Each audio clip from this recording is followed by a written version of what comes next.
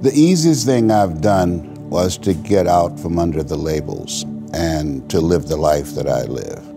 The most difficult thing I've ever done was to believe that I can do it. Uh, the difference is that when you don't know what's impacting you,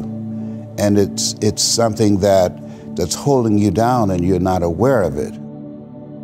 there are things that when you, in, in my situation, you live in a dominant culture that is designed to destroy your sense of self and your belief in yourself, and, and you have to learn ways in which you can begin to connect with this power that you have within yourself to handle where you are.